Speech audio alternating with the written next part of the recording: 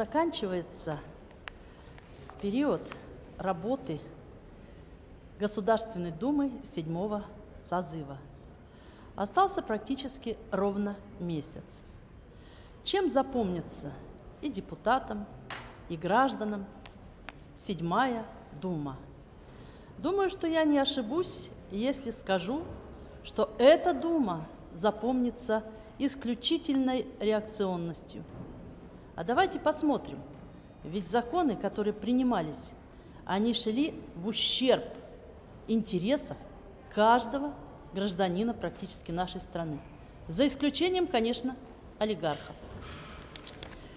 Если посмотреть на те законы, которые принимались, начиная от пенсионной реформы и заканчивая репрессивными законами, а особенно последние законы, вот э, чудовищный закон, который я могу назвать а, поражение в правах, это антиконституционный закон. Вот именно такими законами прославилась эта Дума. Дума наша перестала быть площадкой для дискуссии. У нас сегодня существует одно, единственное, правильное мнение. Это мнение президента и правительства Российской Федерации. Все остальные мнения исключительно неправильные. Более того, мнение это высказать на заседаниях Государственной Думы становилось все проблематичнее. Почему? Потому что ограничено время выступления депутатов, ограничено количество депутатов, которые могут выступать и так далее. Но я считаю, это не государственный подход. В нашем государстве должны быть услышаны абсолютно все. К сожалению, это далеко не так. Законы защищали исключительно состоятельную часть граждан нашей страны. Вот э, недавно был опубликован список, новый список Forbes наших миллиардеров. Со 102 цифра поднялась до 123. Столько у нас долларовых миллиардеров. Более того, 35% а, от ВВП имеют состояние 200 семейств в нашей стране. Я решила проверить цифру, потому что не всегда доверяю э, информации, которая приходит к нам из западных, например, источников. Я взяла 7 вот насколько времени хватило, столько и взяла. Я взяла 7, строчку из 7 э, наших э, самых богатых граждан, посчитала, перевела из долларов в рубли, что в итоге у нас получилось. А диапазон получился такой. От 1,3 триллиона рублей состояния седьмого, так скажем, в моем списке, до 2,2 триллионов рублей – это состояние семьи первого в списке. Списки эти в открытом доступе, можно их посмотреть. Посчитав, сложив чисто арифметическое действие, я получила 12 триллионов рублей у семи граждан нашей страны, у семи семейств. Хочу напомнить, что общие доходы федерального бюджета на 2021 год – это 18,8 триллионов рублей – и 12 имеют вот эти 7. Это как вообще? Разрыв и децельный коэффициент просто чудовищный. Вот этих людей как раз и защищала Государственная Дума. А сегодня я хочу немножко остановиться на повестке, и я из этой повестки выдернула один закон, который, который просто вот режет своей чудовищностью и болью. Что это за закон? А это закон, который позволяет сегодня охотиться на землях сельскохозяйственного назначения, который принимают в угоду группы депутатов, разумеется, из «Единой России» преимущественно, которые сегодня лоббируют вот эту тему. Это чисто лоббистский закон охотников, это закон живодерский. Более того, дело в том, что даже счетная палата, которая не всегда, так скажем, такую позицию жесткую занимает, заняла эту жесткую позицию. В результате мы имеем что? Мы имеем диапазон вот этот вот, точнее расстояние в 30 километров, которое раньше было и которое непозволительно было использовать ни для чего, кроме аграрных э, дел, вот, одна, аграрных нужд. Вот, а теперь все это можно делать. То есть что получится? А не получим ли мы аккуратненькие коттеджики в лесу, который относится к землям сельскохозяйственного назначения, который будет называться охотничьими домиками. Зав, запросто получим. Поэтому вот этот лоббистский закон, его нельзя допускать просто. Мы будем категорически против голосовать. И таких законов Дума принимала много. Естественно, именно такими законами для народа она и запомнится. Потому что, потому что народных, чисто истинно народных законов эта Дума, к сожалению, приняла крайне мало. Доброе утро, э, дорогие друзья. Я представляю Саратовский одномандатный избирательный округ номер 163.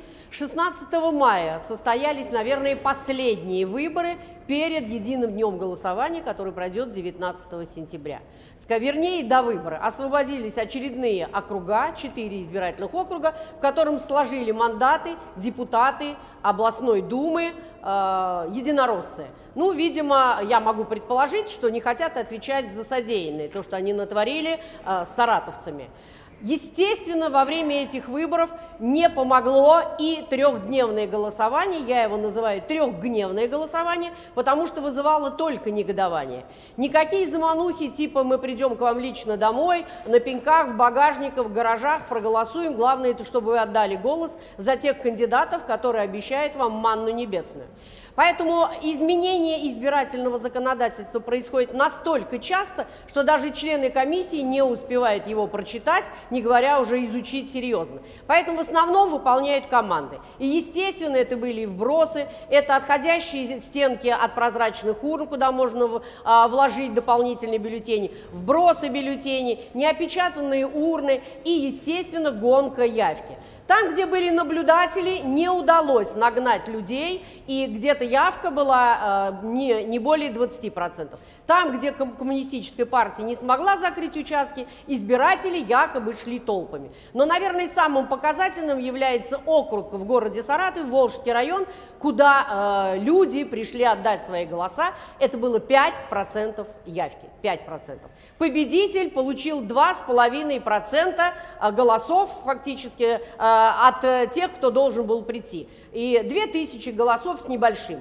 И э, это все происходит от того, что избирательное законодательство, оно избирательно по отношению к гражданам определенным. Убрали порог явки, убрали возможность не регистрировать тех или иных кандидатов по разным параметрам, делать двойников и так далее, и так далее. Но этого, видимо, партии власти показалось маловато. Вчера приняли э, в первом чтении э, закон изменения в выборы Государственной Думы, потому что они на носу, и нужно сохранить за собой власть во что бы то ни стало.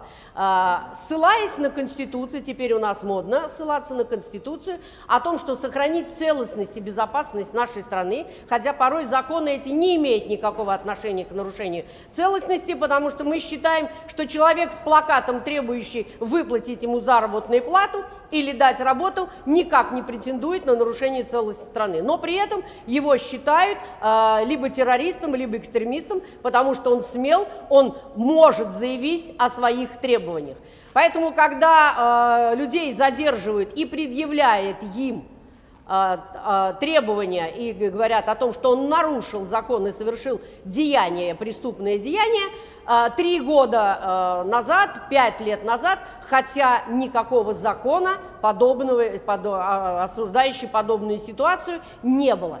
Поэтому, ссылаясь на 54 статью, э, на 55 статью, забывает о других э, статьях э, Конституции, которые вступили в силу уже и давно работают, о том, что закон не имеет обратной силы. Поэтому только фракция Коммунистической партии Российской Федерации в полном составе вчера проголосовала против подобных законопроектов, и э, три человека от фракции «Справедливая Россия» и Иванов от ЛДПР, таким образом «Единая Россия» протащила новый закон – тем, которые у нас запрещает свобода мысли, свобода, вольнодумие, умение высказать и решимость высказать ту или иное замечание или тот или иной подход к решению проблемы.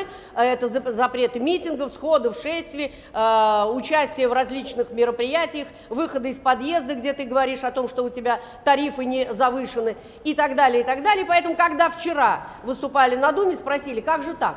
В Государственную Думу, по вашему мнению, не могут э, претендовать кандидаты кандидаты, э, которые три или пять лет были э, причастны э, какой-то террористической или экстремистской организации. Слово «причастный» непонятно, их в юридических терминах не существует, и не говорится о том, кто это, руководитель или человек, который принес пиццу, или это охранник, гардеробщик и так далее. Главное, что причастно. А это значит, будут выбирать конкретно пофамильно или по названию политической партии, которая не может и не должна участвовать. Поэтому естественный, закономерный был вопрос.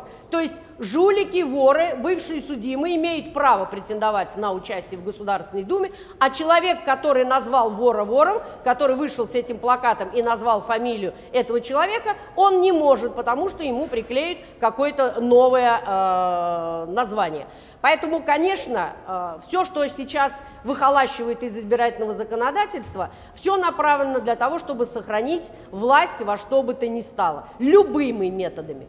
Поэтому не удивляйтесь, если будут э, депутаты, названия народных избранников назначены, хотя и с элементами голосования.